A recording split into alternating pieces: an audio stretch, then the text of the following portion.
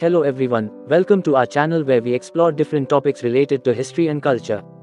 Today, we are going to talk about Saint Lucy Filippini, an Italian nun who dedicated her life to educating young girls and women in the 18th century.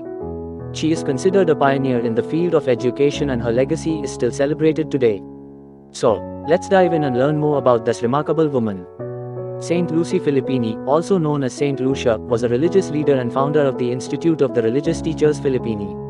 She was born in Cori, Italy in 1672 and was the eldest of 10 children.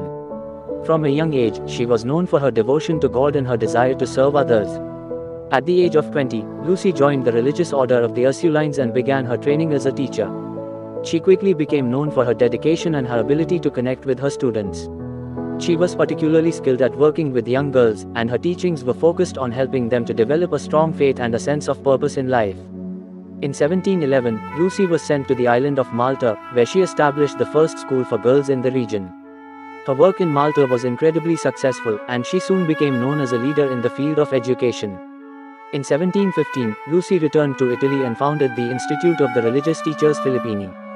This organization was dedicated to providing education and spiritual guidance to young women, and it quickly became one of the most respected institutions of its kind in the country.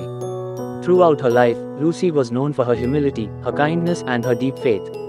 She passed away in 1732 and was canonized by the Catholic Church in 1950. Today, her legacy lives on through the Institute of the Religious Teachers Filippini, which continues to provide education and spiritual guidance to young women around the world. Saint Lucy Filippini was a remarkable woman who dedicated her life to serving others. Her work in education and her devotion to God continue to inspire people today. She is an excellent example of how one person's actions can make a difference in the lives of many and how we can all make the world a better place through our actions. That concludes our video on St. Lucy Filippini.